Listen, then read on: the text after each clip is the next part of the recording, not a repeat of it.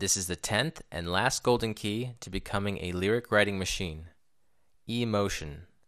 Energy and motion, harnessing your current emotions. Writing songs can be emotional. However, this does not have to mean heavy emotions, but all kinds. The easiest way to produce the best lyrics is to use your current emotions. You can invoke other emotions, but then you should be a very skilled actor.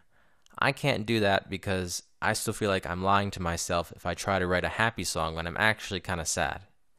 In fact, sometimes when I'm upset, I grab my guitar and just start strumming and singing, and believe it or not, great things come out of that that even rhyme. My only mistake is that I forget it right away.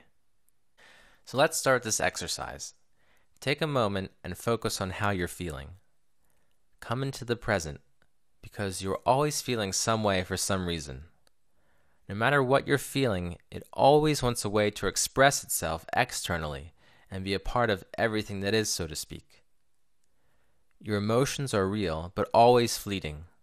So when you use them to write music, it's easy to capture them.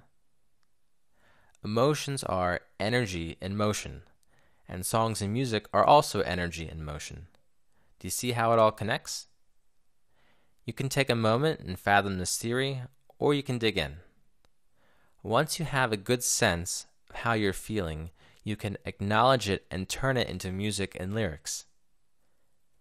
The music is taken from your mood, and the lyrics that come out of you articulate how and why you're feeling this way.